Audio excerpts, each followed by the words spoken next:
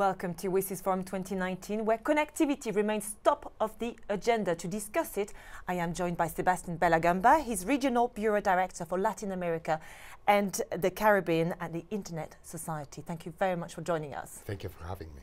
So connectivity, very important because nearly half the world remains unconnected. Why is that so? What are the challenges?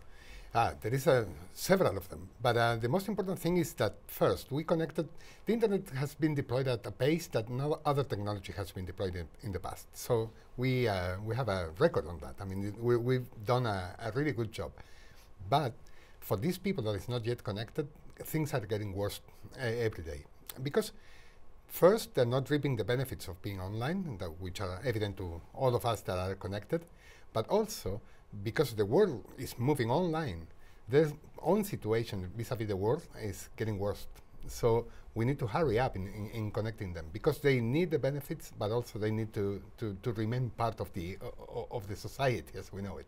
There's a real sense of urgency at the moment to connect these people, isn't there? Completely, completely. Because, um, as I said, I mean, the, the internet brings benefits to the people. It's not the technology that we're, we're deploying. We're deploying a technology for the benefit of people. Uh, people are, uh, are better off when, when connected uh, because of productivity, because they, they communicate with people. I mean, there is a lot of uh, advantages of being connected. It's, they're evidently known by, by everyone. But without, uh, if, if we lose time, we are, we are going to deprive these people for of all the benefits that are, are of being connected. So we, we need to, to, to move fast and we need to move together. The important thing here is to collaborate in order to, to address this situation. Yes, so I understand you participated in a panel and it was actually all about multi-stakeholder uh, participation, so collaboration to bring more people online. So what were the main discussion points? What can we do?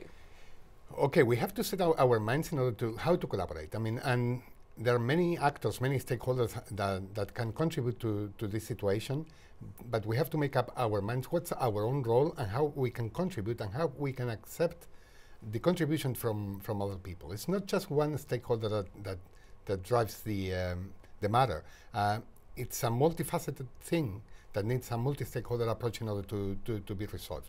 For instance, I mean, we need regulation that, that, that um, will allow people that live, for instance, in rural areas to get connected to the internet.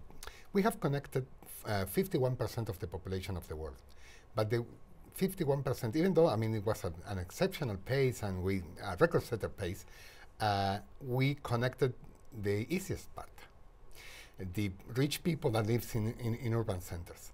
We need, we need to work together on how we address the, the rest. The other 49% uh, is, is a more complicated one, uh, and we need to policies uh, in the more ample se uh, sense of the, of the word that help us address that. For instance, we, um, one thing that we're working with uh, a lot is what we call community networks. It's, a, it's one of the many solutions that we have in order to address this situation. Community networks are uh, networks that are created and run by their own communities. Uh, which is a, an excellent solution for rural areas, for instance, where there is no coverage at all uh, today. And for doing that, you need the community itself to, to work on that.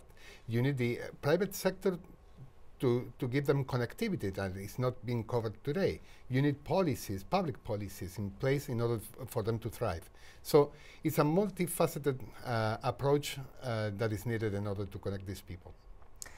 And do you feel that all the stakeholders are all um, striving to collaborate more? I mean, do you think that everyone is willing to participate uh, and join in the effort? Yes, absolutely. And every, uh, every day is getting uh, better in, in that sense. I mean, I think we, we started uh, in silos. Uh, and now the collaboration is, is taking place, and, and I'm very grateful for, for all the participants here that make this uh, easier and, and happening. And there, there is a saying of uh, our CEO that says, no one internet's alone. I mean, the concept of the internet implies collaboration because it's internet. Um, and, and I think that concept is, is, is getting more uh, every day in, in, in our daily work. Okay, Sebastian Bellagamba of the Internet Society, thank you very much. Thank you.